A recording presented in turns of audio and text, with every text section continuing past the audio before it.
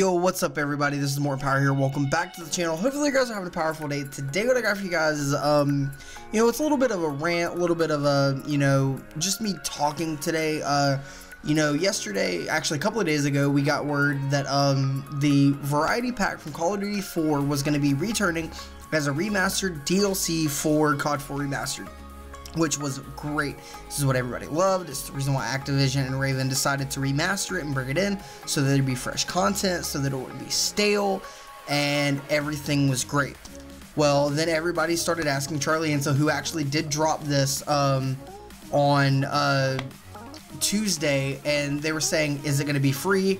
Um, it's supposed to be free and everything like that. And then Charlie Intel replied saying, no, it will be $14.99 for the uh, season pass, or not the season pass, for the DLC.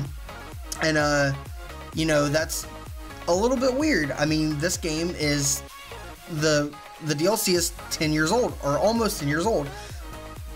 It doesn't really make sense that it would be $15 for DLC that's 8 years old, or 9 years old.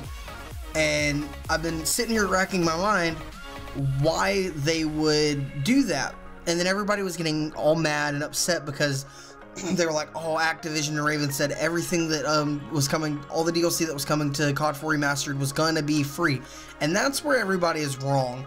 The only thing that they said was free was going to be the six remaining maps that were not added at launch. Those were the only things that were going to be free. Um, but I do understand why Activision is doing this. They have to make money. You know, they have a, you know, they have a business plan and they have to make the money to you know, sustain the business plan, but I mean, this was a add-on to the standalone game uh, for the year. And I'm, I'm thinking, why would we pay for a DLC? I mean, especially season pass holders. I mean, I'm a season pass holder for Infinite Warfare. This is the first time that I've ever bought a season pass.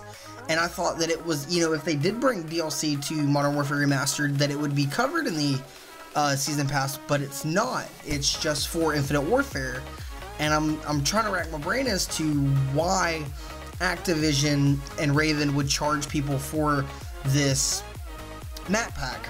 And I'm just I'm sitting here. I'm at a loss for words.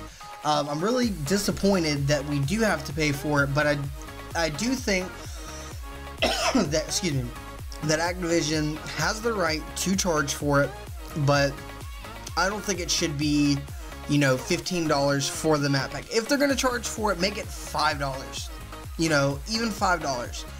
Because if you bought the game with Infinite Warfare, it was only $20 for the for Modern Warfare Remastered. If you're paying $15 for a DLC, that's three-fourths of the price of the original game. I'm sitting here, I'm like, why? But I will say that um, that it it's a good thing. They did something good with it. They're adding that you get 10 rare supply drops for the Lion uh, operation. It's and that actually that operation is actually not in Modern Warfare Remastered right now, but it will be. So we're gonna get new, hopefully new content for Modern Warfare Remastered, and we get 10 free supply drops. I hope that makes up for it. I know that probably won't, but that's just my take, my little bit of a rant. Uh, but also the Call of Duty community, I think they're overreacting a little bit because everybody's saying that this was supposed to be free. Actually, no, it's not. Activision only said that the six remaining maps that were not released at launch were free. So I, we gotta cut Activision a little bit of a break there. But that's gonna do it for this video, guys. If you enjoyed the video, smash that like button, guys. Let me know in the comment section what you think about this uh, DLC and uh, whether it should be free or not. And if you're new to the channel, hit that subscribe button, guys, because as always, uh, once we hit 100 subscribers, we're going to be doing a giveaway. So you might want to stick around and check that out. And as always, guys, I'll check y'all on the next video.